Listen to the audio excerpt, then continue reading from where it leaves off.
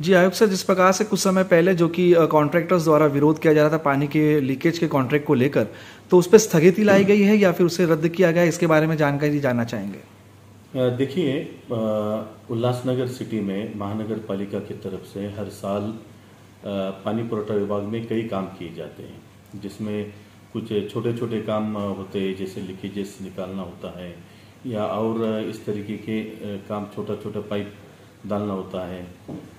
तो ऐसे काम किए जाते हैं और इस पर करोड़ों रुपए खर्चा भी होता है। और इसमें कई लोग जो है काम लेते हैं, ठेकेदारों की संख्या भी काफ़ी है और ये संख्या इन पर मॉनिटर करना प्रशासन के लिए दिक्कत हो जाती है कई बार।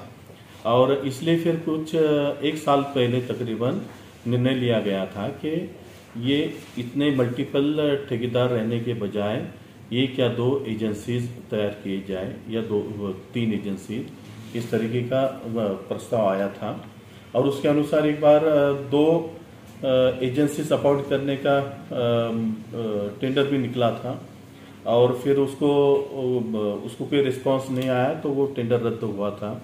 उसके बाद हमने एक एजेंसी वाला टेंडर निकाला था कुछ दिनों पहले। और उसकी उसकी प्रक्रिया चालू थी। उसमें प्री बीड भी हमने लिया था।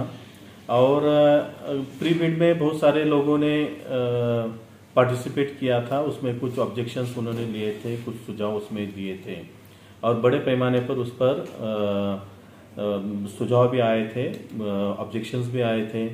उसके अलावा बहुत सारे ठेकेदार जो है महानगर पालिका के सामने, इन्होंने धरने आंदोलन भी शुरू किया था। और ये सभी बातें को मद्देनजर रखते हुए और इसमें जो पॉइंट्स उसमें रेज किए गए थे, इन सब बातों को डिसाइड करने में काफ़ी टाइम भी लगने वाला था।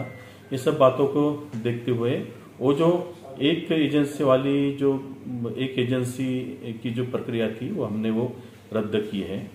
और वो जो ठेका, वो जो टेंडर प्रक्रिया थी, वो रद्द की गई है। ऐसी अटकलियाँ लगाई जा रही है कि टेंडर को जो है फिर से लाया जाना है और चार प्रभाग में इस तरीके की जो बातें चल रही है क्या ये है कि प्रशासन फिर से इस टेंडर के ऊपर नज़र रखेगा? देखिए कैसा है महानगर पालिका के हित के हित में काम करना ये हमारा कर्तव्य है। जो जो प्रस्ताव हितकारी होगा तो उसको आ, उसको इम्प्लीमेंट करना ज़िम्मेदारी भी बनती है। अभी इस पर कोई निर्णय अभी तक कोई हुआ नहीं है। इसको दो में लाएँगे, तीन में लाएँगे, चार में लाएँगे।